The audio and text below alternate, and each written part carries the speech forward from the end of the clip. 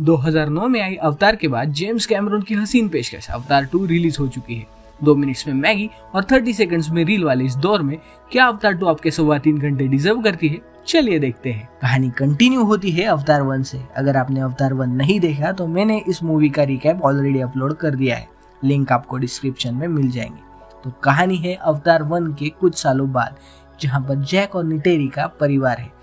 और वो परिवार खुशहाली से जी रहा है। उनकी एक खुशहाल ज़िंदगी पर उनकी खुशहाल ज़िंदगी को गोरे कॉलोनाइजर्स की नज़र लग जाती है, जिस वजह से उसे और उसके परिवार को जंगल छोड़ के, समुद्र के किनारे पर रहने वाली ट्राइब के साथ घर बसाना पड़ता है, पर गोरे उसे वहाँ भी ढूंढ लेते हैं। और जैक को समझ में आ जाता है कि मुश्किलों से डर कर भागना नहीं चाहिए, बल्कि उनका डट कर सामना करना चाहिए। फ़िल्म के विजुअल्स काफ़ी ज़्यादा सुंदर थे। स्पेशली अंडर वाटर सीक्वेंसेस को देखकर तो आप मंत्रमुग्ध हो जाओगे। अंडर वाटर सीक्वेंसेस देखकर आपकी आँखों को ठंडक मिल जाती है। इसका एनिमेशन अवतार वन से भी एक स्टेप बढ़कर था। सब कुछ अब और भी ज़्यादा रियलिस्टिक लगने लगा है। मैंने इसे थ्री में देखा था और मैंने इससे बढ़िया थ्री फ़िल्म अपनी ज़िंदगी में नहीं देखी। फ़िल्म एक विजुअल ट्रीट है और इसे देखते समय आप अवतार की दुनिया में खो जाते हो। फ़िल्म में जो अंडर वाटर क्रिएचर्स दिखाए वो भी काफ़ी सुंदर थे। समुद्र के किनारों पर रहने वाली मिटकानी ट्राइब को बहुत अच्छी तरीके से एक्सप्लोर किया है। उनकी परंपराएँ, उनके रीति रिवाज नावी से कई ज़्यादा अलग है और वो चीज़ें भी काफ़ी परफेक्टली एग्जीक्यूट की गई। इस मूवी को देखना मेरे लिए एक सिनेमेटिक एक्सपीरियंस था और मैं इंसिस्ट करूँगा कि इसे थिएटर में ही देखो।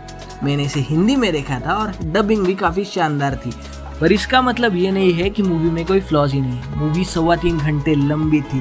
कैरेक्टर डेवलपमेंट में काफ़ी ज़्यादा टाइम खर्च कर दिया है। दोनों हाफ़ काफ़ी स्लो थे और ऐसे कई सीन्स थे जिन्हें ट्रिम किया जा सकता था।